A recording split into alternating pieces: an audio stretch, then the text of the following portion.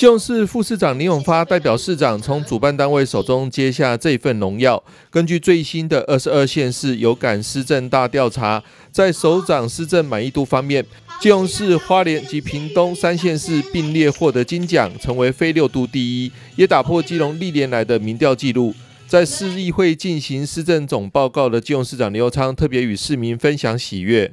也觉得很荣幸啊！那这个我们得到非洲都的一个第一名哦，我想这是对我们金融市啊，不单单是我个人，其实是对我们金融市还有所有市民哈的一个肯定。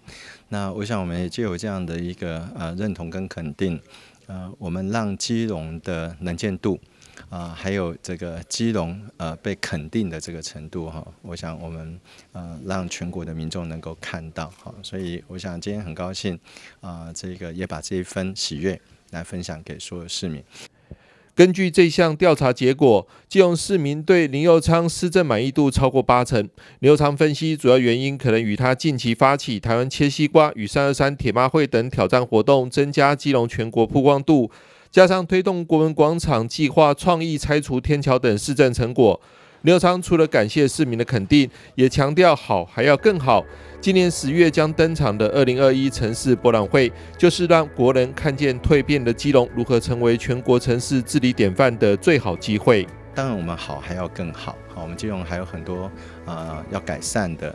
啊，还有值得进步努力的一个空间。那呃，特别是今年呃十十月二号到十一号，我们要举办城市博览会啊，这是我们整个城市进步发展的一个大验收。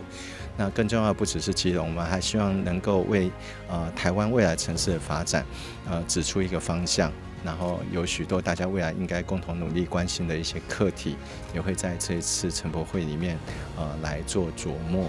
呃，所以我想我们大家呃期待，拭目以待啊。然后我相信基隆呃在今年年底呃可以更让大家看到呃更不一样的一个基隆。刘昌强调，对于民调结果，只要高兴一天就好。市府团队会全力加速完成各项市政建设工作，让基隆市民可以更大声骄傲地说：“我是基隆人。”记者张启腾基隆报道。